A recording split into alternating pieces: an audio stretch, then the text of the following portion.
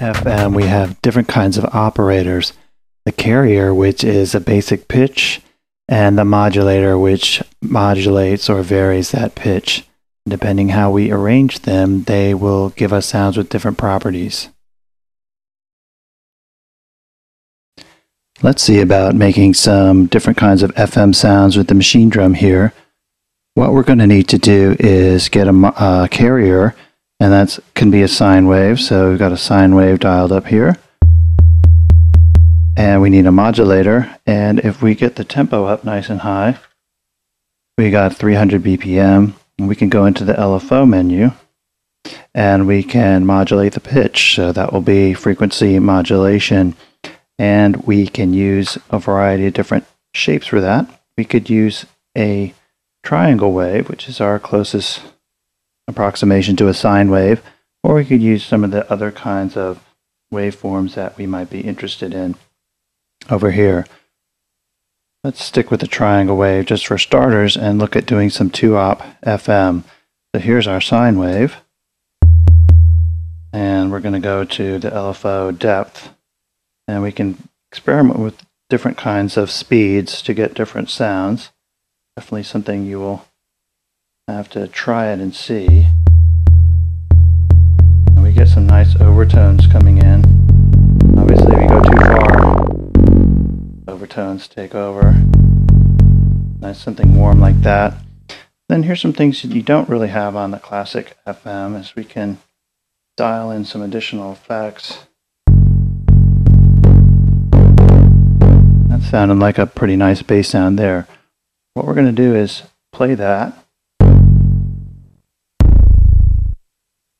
We're going to record it over here and play it back on a play machine.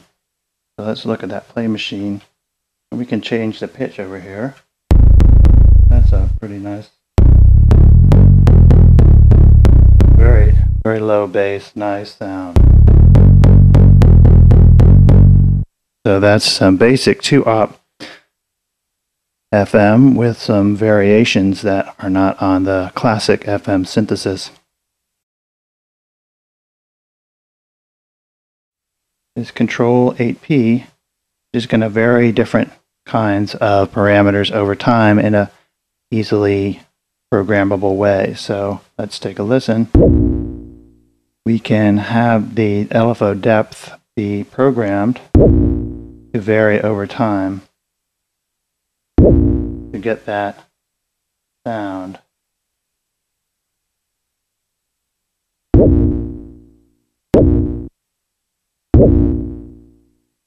So we play that back over here. And let's just take a look at that sine wave real quick. Here is the sine wave. dial that in. But we want it to evolve over time. And that's what this does. And you can see the parameter being modulated. So that's some more at 2-op FM with the envelope here. Let's go over to the play machine and we can again modulate this. So this is our sample. There's no reason why we couldn't modulate this as well.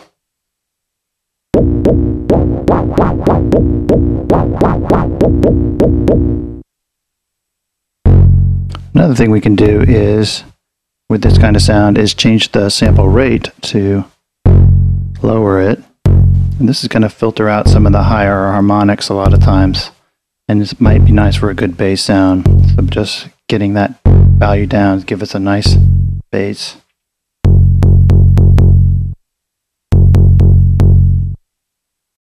There's some nice harmonic possibilities around BPM 220. Let's take a look.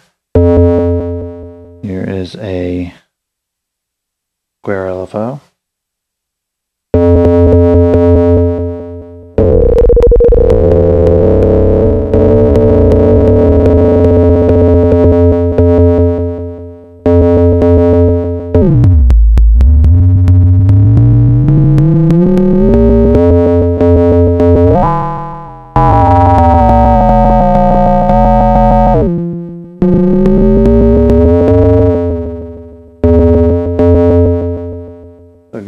Sample that and play it back and adjust things.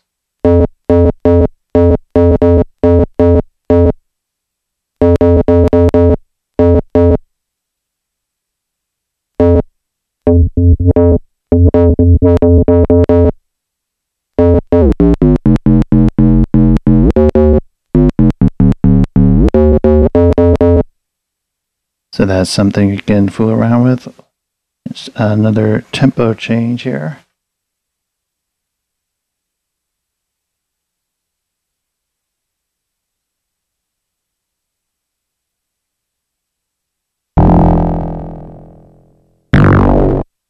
And that sounds a bit rough at first, but with a little bit of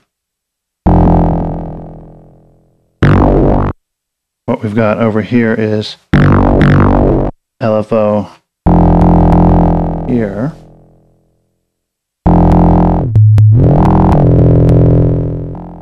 And then we've got the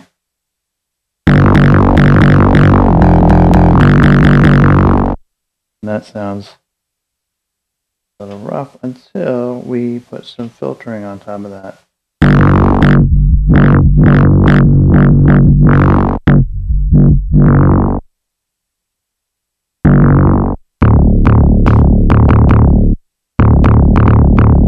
So that's got some filtering applied here so we can see the LFO on this one is going to be a filter of LFO.